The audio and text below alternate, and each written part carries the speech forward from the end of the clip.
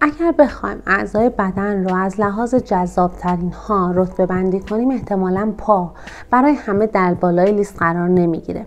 ولی این برای افراد مبتلا به فتیش پا صدق نمی‌کنه.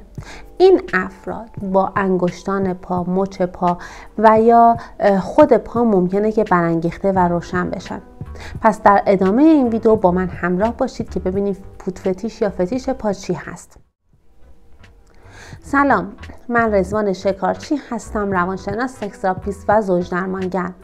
به کمک ویدیوهای آموزشی که می‌سازم من به شما کمک می‌کنم که زندگی جنسی و عاطفی بهتر و لذت بخشی داشته باشید. لطفا اگر در یوتیوب من رو دنبال می‌کنید subscribe کنید و اگر در اینستاگرام هستید این ویدیو رو share کنید و با دوستانتون به اشتراک بذارید. خب فتیش چیه اصلا؟ اول ببینیم فتیش چیه. فتیش به عنوان یک جاذبه برای اشیا با هدف دستیابی به رضایت جنسی شناخته میشه. اختلال فتیش می‌تونیم اون رو به عنوان تخیلات جنسی در میل جنسی و رفتارهای جنسی تشخیص داد که در واقع باعث ناراحتی و یا اختلال قابل توجهی در زمینه های اجتماعی شغلی و یا سایر زمینه های عمل کردی فرد میشه.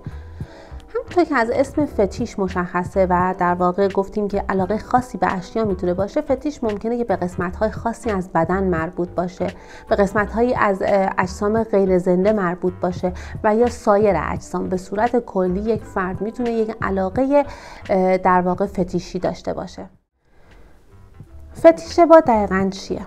فتیش پا علاقه جنسی به پا هست. به عبارت دیگه پا انگشتان پا و مچ پا فرد رو روشن و برانگیخته می‌کنه.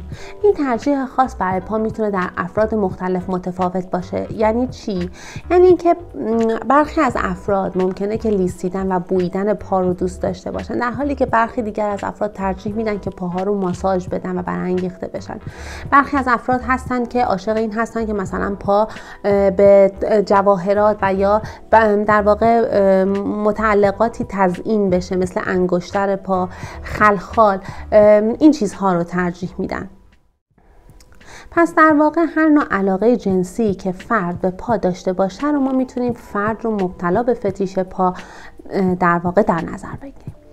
حالا می‌خوایم ببینیم که چرا مردم اصلا پا رو دوستن چرا بعضی از افراد علاقه جنسی به پا دارن؟ ببینید درست مانند ترجیحات لباس و یا سبک موسیقی جنبه های جنسی هم برای هر فرد می‌تونه متفاوت باشه. هر فردی به یک چیزی در واقع جذب میشه یا از اون بیزار و دفع میشه که دیگران ممکنه اون رو پیش پیش پا افتاده در نظر بگیرن.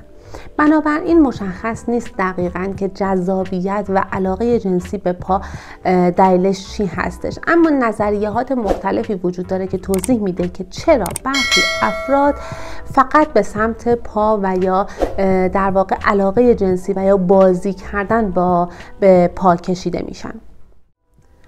بعضی ها معتقدن که به دلیل جنبه تحقیر می‌تونه باشه. ببینید پاها اغلب به عنوان زیر, زیر در نظر گرفته میشه. به این معنا که افراد پا رو به عنوان عضوی از بدن در نظر میگن که پست هستش که این حس رو ایجاد می‌کنه که برخی از اونها برای پا برای برخی از افراد جذابه. یعنی چی؟ یعنی اونها دوست دارن که پستر از شریک زندگی خودشون باشن. اونها از اینکه پای مثلا شریکشون رو پای خود پای شما رو مثلا روی بدن خودشون قرار بدن و یک در واقع بازی قدرتمند قدرتمند و زیر دست قرار بگیرن لذت می‌برن و ممکنه که در واقع برانگیختگی جنسی پیدا کنند. جنبه دیگه که می‌تونه باشه به دلیل جنبه تسلط هستش. تسلیم و تسلط در واقع برای بعضی از زوجها یک بازی قدرت هستش. که تنها پا بخشی از اون ساختار رو تشکیل میده. اگر شریک زندگی شما فتیش پا داره ممکنه که از شما بخواد مثلا مانند یک زیرپایی با اون رفتار کنید.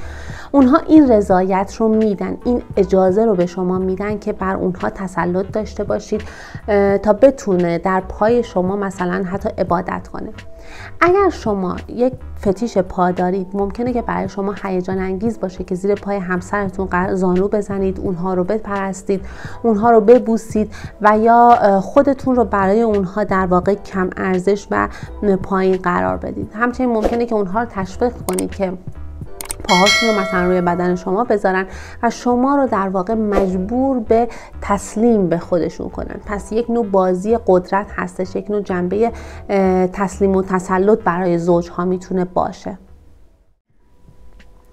سوالی که گاه هم پرسیده میشه اینه که آیا نوع تزئین پا یا تزئین اهمیت داره یا نه؟ ببینید فتیش کفش و جوراب یک ارتباط تنگاتنگی با فتیش پا داره. بسیاری از افرادی که در واقع فتیش پا دارن ممکنه که علاقه خاصی به کفش جوراب و یا جواهرات و یا سایر تزئینات پا داشته باشن. برخی افراد ممکنه که نه شریکاش رو شریک خودشون رو برهنه ترجیح بدن و بخوان که به یک نمای در واقع کلی از پا رو از بالا به پایین ببینن. برخی از افراد ممکنه که با دمپایی و یا سندل ها که فقط یک کمی از پا رو نشون میده لذت ببرند. به صورت کلی کفش های پاشنه بلند نیز توجه افراد مبتلا به فتیش پا رو به خودش بسیار زیاد جلب می‌کنه. جوراب ساق بلند و انواع جوراب ها و هر چیزی که ممکنه متعلق به پا باشه تعلقاتی به پا داشته باشه توجه افراد مبتلا به فتیش رو به خودش جلب می‌کنه. برخی از بزرگترین باورهای غلط در مورد فتیش پا چی هستش؟ مردم به اشتباه تصور می‌کنن که داشتن فتیش پا به این معنای که شما ممکنه یک اختلال روانی داشته باشید. فتیش ها می‌تونن به مشکل تبدیل بشن. مثلا اگر یک شخص در مورد فتیش خودش مضطرب باشه یا اگه برای برآورده کردن در واقع خواسته های خودش مرتکب جنایت یا جرمی بخواد بشه. در اکثر موارد هیچ ایرادی نداره که فرد در واقع فتیش داشته باشه. و وقتی صحبت از روابط جنسی به وجود میاد رفتارهای جنسی خاص داشتن هیچ موردی نداره. به طور کلی داشتن یک فتیش هیچ ایرادی نداره. فتیش به این معنا نیست که شما مشکل ذهنی دارید یا اینکه نمی‌تونید در روابط جنسی خودتون یک رابطه سالم و یا عاشقانه رو داشته باشید. در چه صورت ما یک فتیش رو می‌تونیم در واقع انحراف و یا اختلال در نظر بگیریم؟ ببینید اگر شما من بارها توی ویدیوهای قبلی هم گفتم توی ویدیوهای فانتزی های جنسی گفتم اگر صرف انجام صرف یک فانتزی هستش به خودی خود گفتم داشتن فتیش هیچ موردی نداره. ولی زمانی که شما بدون رضایت فرد بدون رضایت پارتنرتون می‌خواید یک عمل رو انجام بدید اونجا اختلال و انحراف هستش. مثل زمانی که شما خیلی خوب. ما قبول می‌کنیم شما فتیش دارید. ولی زمانی که شما با فرستادن مثلا دایرکت هایی به افرادی که رضایت ندارند به دریافت دایرکت یا حرف های جنسی از شما در این صورت شما یک منحرف محسوب میشید. پس شرط اصلی این که شما بخوایم فتیش رو از اختلال و یا انحراف جدا کنیم یک داشتن رضایت پارتنرتون برای انجام عمل حالا فتیش هستش. دو اینکه این در واقع علاقه یا فتیشی که دارید در زندگی اجتماعی و شغلی شما اختلالی ایجاد نکنه و در واقع به روابط شما آسیبی نزنه. ممنون که با من همراه بودید. لطفا اگر در یوتیوب من رو دنبال می‌کنید subscribe کنید و اگر در اینستاگرام هستید share کنید و این ویدیو رو با دوستانتون در, در میون بذارید. منتظر شنیدن نظرات شما هستم. ممنونم.